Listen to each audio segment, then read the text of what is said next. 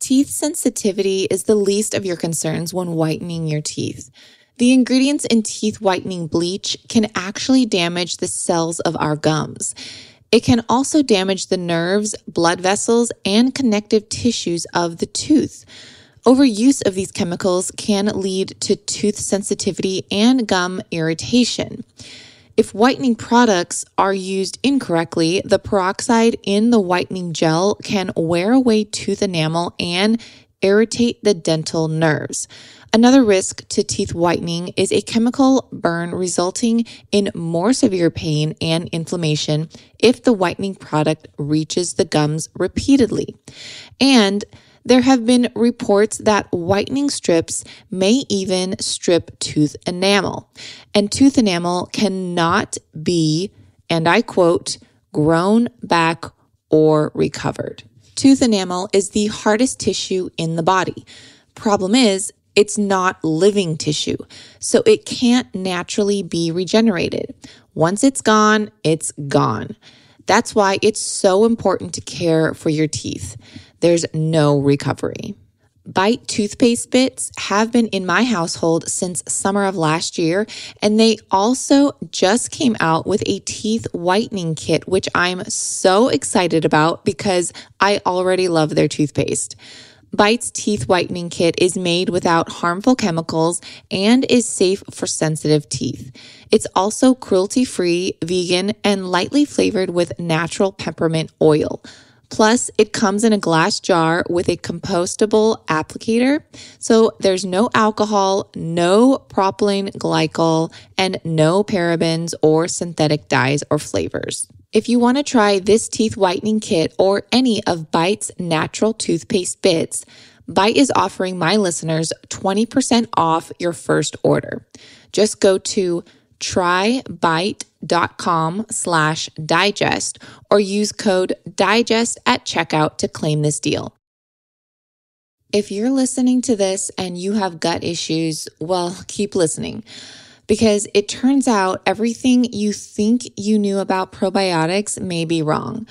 You guys, it can get pretty confusing with the market saturated with probiotic everything.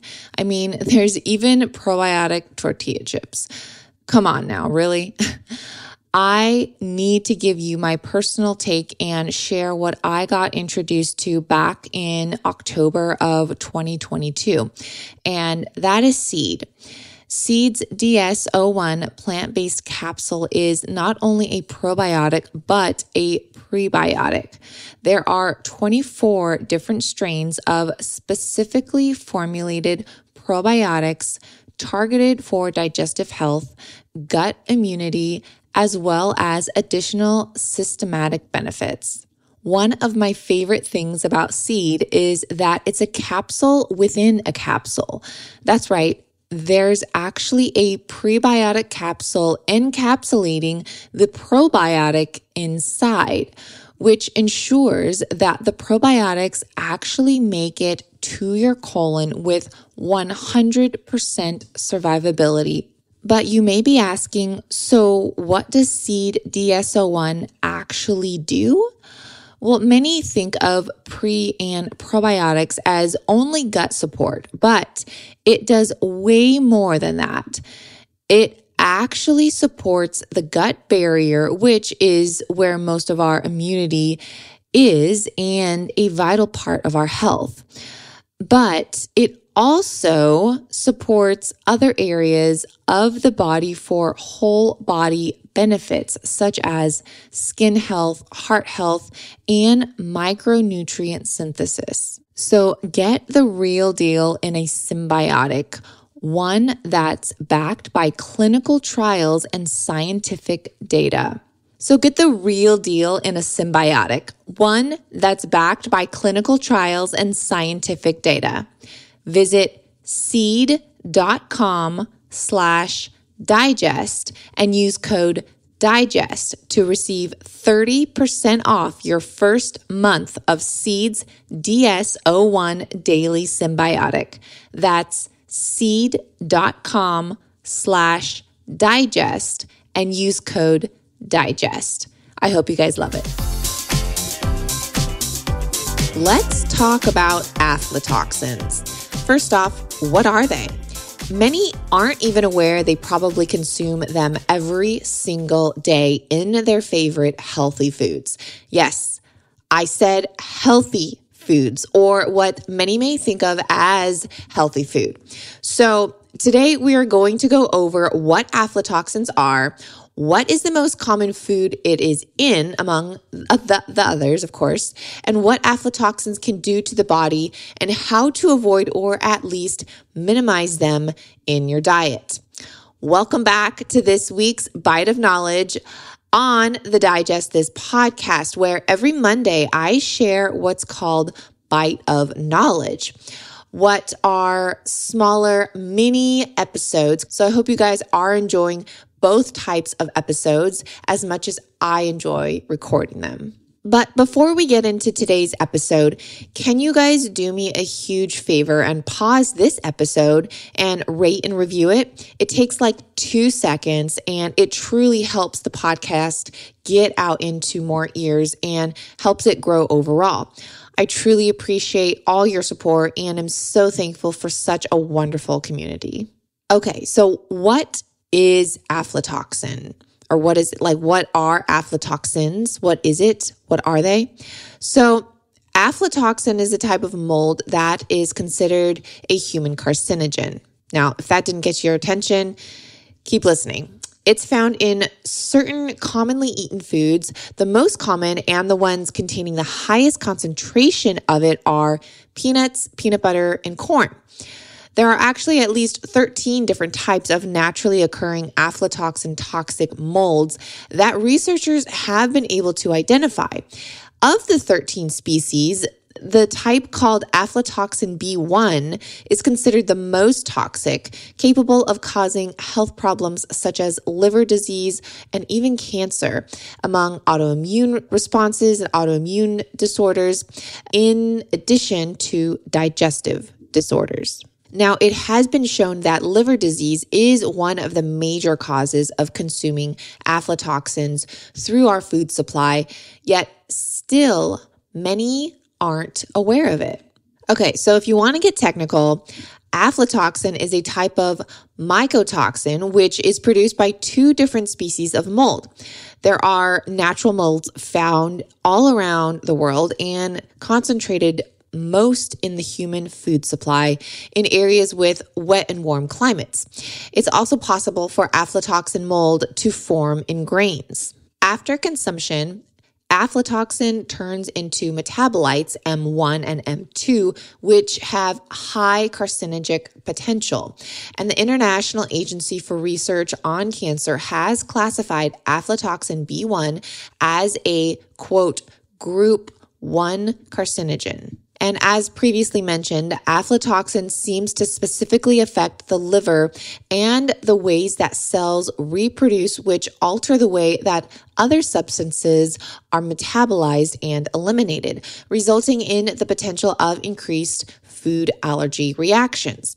Now, obviously, there are many different types of molds that can grow on food, but aflatoxin has gained more attention than others because studies have identified evidence of its potential for causing carcinogen effects.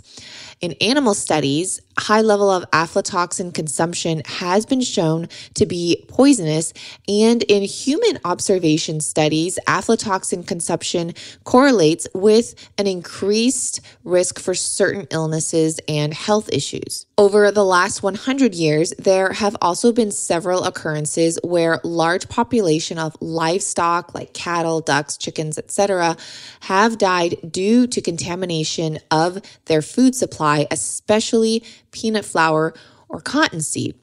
Now, unfortunately, this toxin makes its way into literally probably some of the most very, very, very popular foods.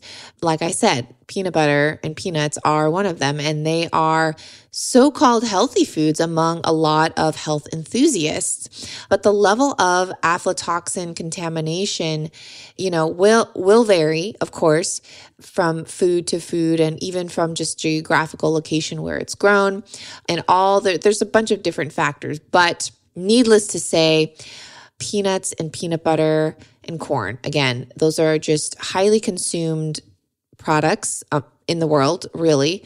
And they're cheap too. And they, they do seem like a healthy food, right? You, you would think like peanuts, peanut butter, corn, like this is a whole food. This is great. But just uh, the more that we dig into it, and I mean, we like all the scientists and just people in today's society in general, um, the more I personally uh, just want to stay away from it.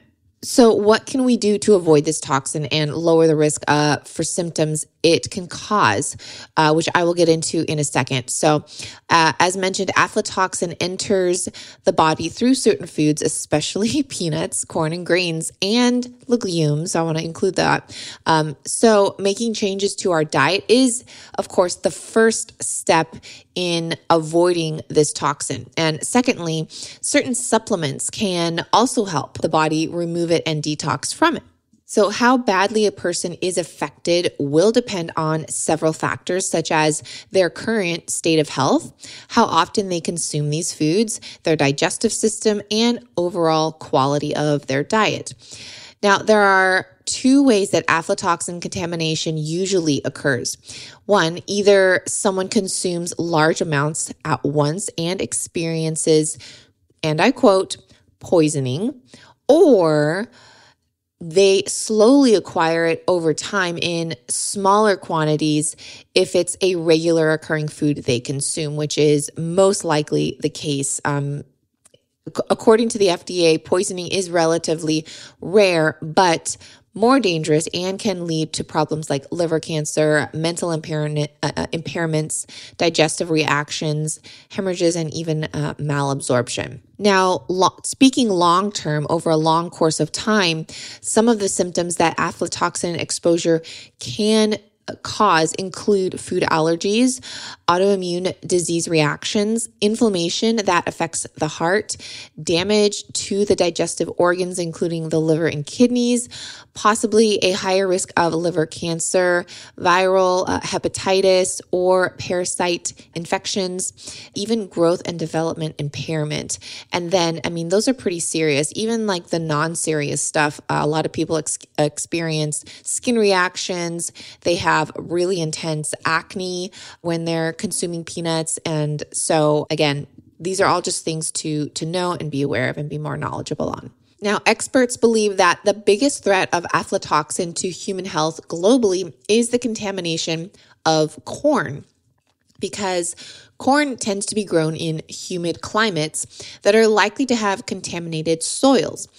And don't just think of whole corn. Think of corn flour, corn syrup, cornstarch, corn oil, etc anything derived from corn. So, corn is snuck into everything these days. And in fact, citric acid you see on food labels is often derived from corn as well, as well as the dextrose and maltodextrin, which are created and derived from also corn.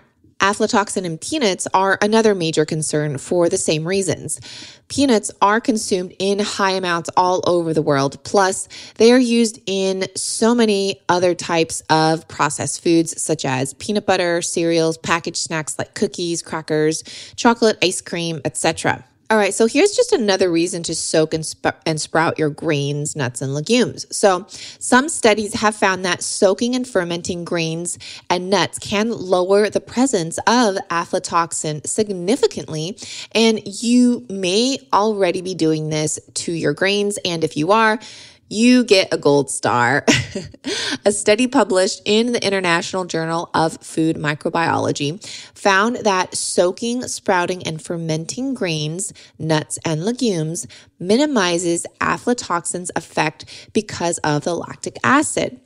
Lactic acid produced during fermentation reduces mold growth and aflatoxin production because of the competition uh, for nutrients between bacterial cells and the mold. This is just so fascinating to me. I hope it is for you too. Do I still have you guys? All right, stick with me here. So, lactic acid seems to ultimately bind to aflatoxins in grains and legumes and cut off its energy supply.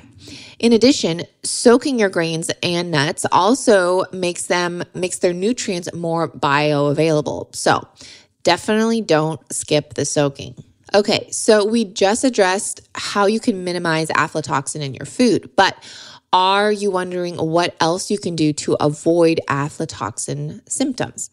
Here are a few tips for purchasing and handling foods plus supplements that can boost the, the detoxing effects. So, first of all, don't keep grains and nuts like corn, peanuts, almonds, for example, for long periods of time. Try consuming them ideally within a couple of months. Secondly, buy the freshest ingredients you can. Ideally, those grown close to your location and not shipped overseas. Reputable. Small sellers who grow organic crops are most likely to harvest them at the, the right time and keep them stored properly because they just don't have to go through all of the shipping that you would get from a you know a larger company and brand also storing your grains that again includes like rice corn nuts um, store them in places that are dry and cool to prevent mold growth. You can even freeze them to prolong freshness. And if you bake with nut flours you should always store your nut flour in the refrigerator after opening.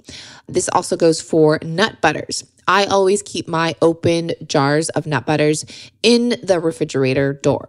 And there's also talk that eating detoxifying vegetables like carrots and celery reduces the carcinogenic effect of aflatoxins and helps cleanse the liver. Some supplements that can boost the detoxification effects, they cleanse the liver and improve digestion. These ones are milk thistle, marshmallow root, and dandelion root, which all have been shown and known for their liver detoxing effects. And you can just get these in tea form. They sell milk thistle tea, marshmallow root tea, as well as dandelion root tea, which I absolutely love. Well, I hope this was a helpful piece to listen to on this fine Monday or whatever day you chose to listen to this on. And I never want to scare you or place fear in you. These episodes are just simply to bring more awareness in order to educate you so that you can better your health and your family's health. Knowledge is power. See you guys this Wednesday for a very special interview. Thanks for listening to this episode of Digest This. If you enjoyed this episode, please leave a review in your podcast app to let us know. If you're ever wondering how you can support me and this podcast, sharing it with your friends and family is the best way.